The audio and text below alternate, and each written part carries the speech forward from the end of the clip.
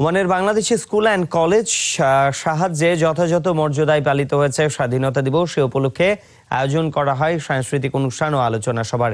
দিনব্যাপী প্রতিষ্ঠানটির নানা আয়োজনে প্রধান অতিথি হিসেবে উপস্থিত ছিলেন ওমানে বাংলাদেশ দূতাবাসের প্রথম সচিব মোহাম্মদ আবু সাইদ। আলোচনা সভায় মহান মুক্তিযুদ্ধে শহীদদের বিরচিত ভূমিকার কথা স্মরণ করা হয়। মুক্তিযুদ্ধের ইতিহাস নতুন প্রজন্মের মাঝে ছড়িয়ে দিতে সবাইকে ঐক্যবদ্ধভাবে উদ্যোগ নেওয়ার আহ্বানও জানানো হয়।